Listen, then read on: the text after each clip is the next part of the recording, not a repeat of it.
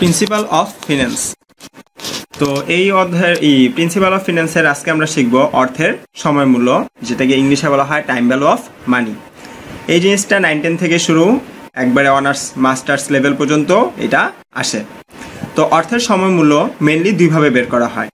প্রথমটা হলো একবারে অর্থ পরিশোধ অথবা পাওয়া। আর দ্বিতীয় হলো কিস্তিতে অর্থ পরিশোধ অথবা পাওয়া। তো নাইন টেনে যারা আসো তারা শুধু একবার অর্থ পরিশোধ পাওয়াটাই পাবা বাট ইন্টার থেকে অনার্স পর্যন্ত কিস্তির অঙ্কটা বেশি আসে। কিস্তিতে অর্থ পরিশোধ অথবা পাওয়া। তো একবারের জন্য কীভাবে অর্থ পরিশোধ ও পাওয়া যায়, সেগুলো আমরা শিখব। তো প্রথমে আগে আমরা একটা সূত্র মুখস্থ করব, সেটা হলো PV equal F B divided by one plus I to the power N আবার বলছি প্রথম সূত্রটা আমরা শিখব। PV equal F B divided by one plus I to the power N তো পিভি মানে হলো প্রেজেন্ট ভ্যালু এফ বি মানে হলো ফিউচার ভ্যালু বা ভবিষ্যৎ মূল্য। সূত্রের এক হলো আর আই আই মানে হলো ইন্টারেস্ট আর এন মানে হলো বছর।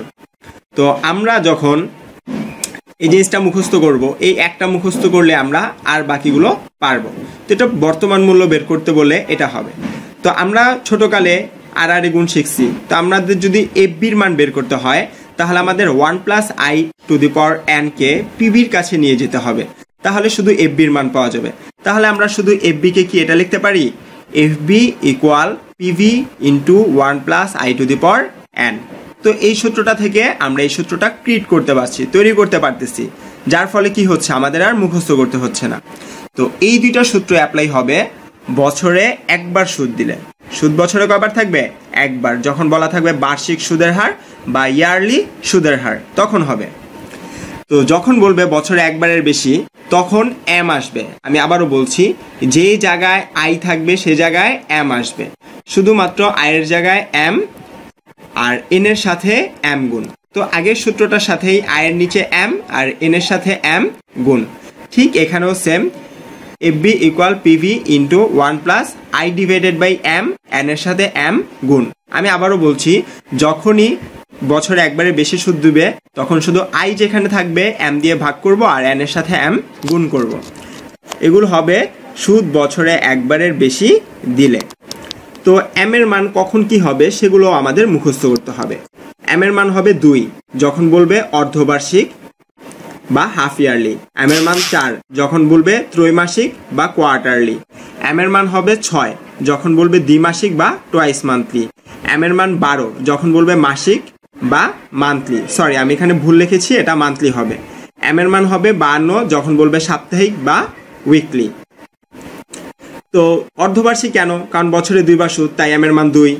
ত্রৈমাসিক বললে তিনবার, যেটাকে কোয়ার্টার বলা হয়। তো বারো মাসকে তিন দিয়ে ভাগ করলে চার? তাই এম এর মান চার। এম ইকুয়াল সিক্স বা ছয়, এটা হলো দ্বিমাসিক মানে হলো দুই মাস পর পর। তো বছর বারোকে দুই দিয়ে ভাগ করলে ছয় এম এর মান বারো, যেটাকে বলা হয় মাসিক মানে হলো মান্থলি এখানে ভুল লেখা আছে, এটা মান্থলি হবে ইংলিশে। এম এর মান হবে বান্ন, যখন বলবে সাপ্তাহিক বা উইকলি তো আমরা দুইটা উদাহরণ দেখি। প্রথম উদাহরণটা বলা আছে, মিস্টার এক্স বার্ষিক দশ পার্সেন্ট সুদে পাঁচ বছরের জন্য এক লাখ টাকা জমা রাখেন। পাঁচ বছর পর কত পাবেন? এই যে আমরা এই যে দেখতে পারতেছি, আজকে মিস্টার এক্স এক লাখ টাকা একবারে কি করছে? জমা রাখছে। এই টাকাটা কিন্তু সে ভেঙে ভেঙে পাবে না ডিরেক্ট পাঁচ বছর পর পাবে। তো এটা একবারের অঙ্ক।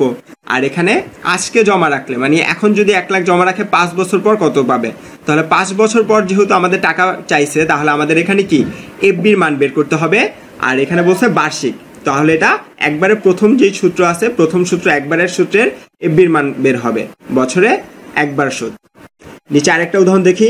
আজ কত টাকা জমা রাখলে নয় পার্সেন্ট অর্ধবার্ষিক সুদে দশ বছর পর, দশ বছর পর পাঁচ লাখ টাকা পাওয়া যাবে। তো নয় পার্সেন্ট অর্ধবার্ষিক সুদে দশ বছর পর পাঁচ লাখ টাকা পাওয়া যাবে। তার মানে আমি দশ বছর পর পাঁচ লাখ টাকা পাবো। তো আজকে কত টাকা জমা রাখতে হবে?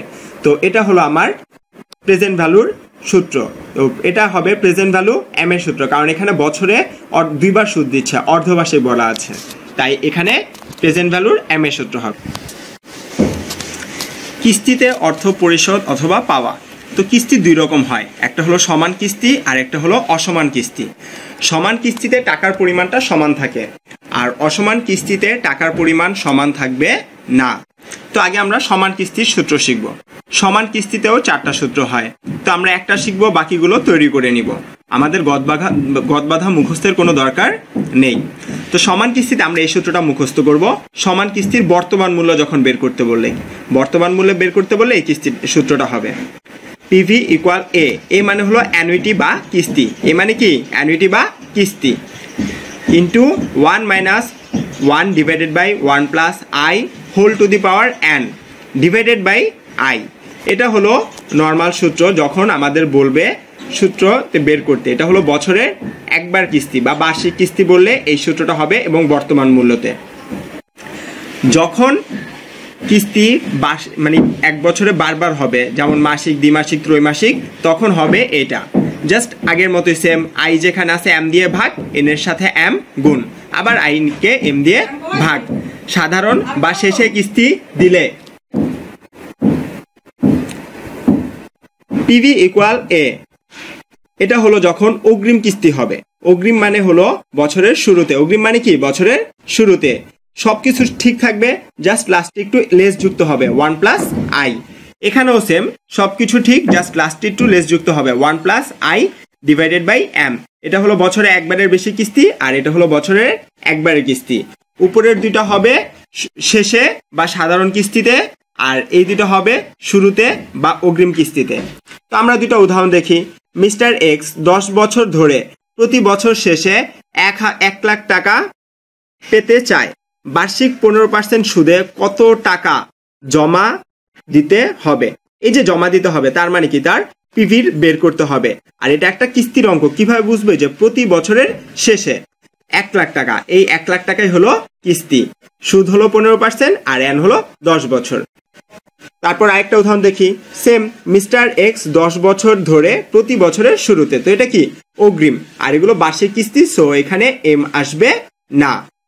আর কোনো কিছুই চেঞ্জ নেই, জাস্ট বছরের শুরুতে। তো এখানে just one plus I add হবে। এই যে এই লেসটা অ্যাড হবে। প্রথমটা এটা হবে, পরেরটা এটা। আর যখনই কিস্তি এক বছর একবারে বেশি হবে, তখন এগুলো হবে। এখন আমরা শিখব সমান কিস্তির ভবিষ্যৎ মূল্য। ভবিষ্যৎ মূল্য হয় এফবি এটার সূত্র হলো A into one plus I divided by N minus এক। আগে এই পুরো মানটা বের করে তারপর এক বিয়োগ করব। ভাগ আই এটা হলো আবার সেম বছরের শুরুতে এবং বার্ষিক কিস্তি। তারপর আবার বছরে একবারের বেশি যদি কিস্তি দেয়, তখন হবে এইটা। জাস্ট আই যেখানে আছে এম দিয়ে ভাগ এন এর সাথে এম গুণ, আবার আই যেখানে আছে এম দিয়ে ভাগ। এগুলোকে বলা হয় সাধারণ বা শেষে কিস্তি তারপর F B equal A one plus I to the power N minus এক, আবার আই তো এটা হলো অগ্রিম, তাই এটার সাথে গুণ হবে ওয়ান প্লাস আই আমি প্রথমে লিখতে ভুলে গেছিলাম, তাই পরে অ্যাড করে দিয়েছি। আর যখন যে কিস্তি একবারের বেশি হবে, তখন হবে এইটা I divided by M I divided by M N into M আর লাস্টে লেস যুক্ত হবে one plus I to the power M এটা হলো অগ্রিম বা শুরুতে থাকলে। তো এটার দুটা উদাহরণ দেখি। প্রতি বছর শেষে। শেষে বলছে, তাহলে এটা কি সাধারণ কিস্তির সূত্র? দশ হাজার টাকা করে জমা রাখলে দশ পার্সেন্ট সুদে বিশ বছর পর কত টাকা পাওয়া যাবে? এই যে বিশ বছর পর টাকা পাবো, তাহলে কি আমার এখানে ভবিষ্যৎ মূল্য বের করতে হবে? আর এটা একটা কিস্তির অঙ্ক। তাই এটা কোন সূত্র হবে? প্রথমটা। পরেরটাও সেম প্রতি বছরের শুরুতে দশ হাজার টাকা করে জমা করলে সেম জাস্ট কি শুরুতে? তো এটা হবে এটা। ওয়ান প্লাস আইটা কি হবে? অ্যাড হবে। এখন আমরা শিখব অসমান কিস্তি। অসমান কিস্তিতে টাকার হারগুলো সেম থাকবে না। মানে হলো এক বছর পাঁচ হাজার, এক বছর ছয় হাজার, এক বছর চার হাজার, এরকম করে চেঞ্জ হবে। তো অসমান কিস্তির প্রেজেন্ট ভ্যালু বের করতে হলে আমাদের সূত্র হবে F B one divided by one plus I to the power one F B two one plus I to the power two F B মানে হলো আপনি প্রথম বছর কত টাকা পাচ্ছেন? আর এখানে সুদের হার এক। দ্বিতীয় বছর কত টাকা পাচ্ছেন? সুদের হার দুই। তৃতীয় বছর কত টাকা পাচ্ছেন? সুদের হার তিন। এভাবে এন বছর পর্যন্ত চলতে থাকবে। চার বছর হলে চারে শেষ, পাঁচ বছর হলে পাঁচে শেষ। এখানে ডট ডট দিয়ে এন আর এফ বিটা হলো উল্টা। পিভি এক one plus I to the power এক। পিভি দুই one plus I to the power দুই। পিভি তিন one plus I to the power তিন। PV N one plus I to the power তিন। তো আশা করি আপনাদের টাইম ভ্যালু অফ মানি সম্পর্কে অনেক ধারণা হয়েছে।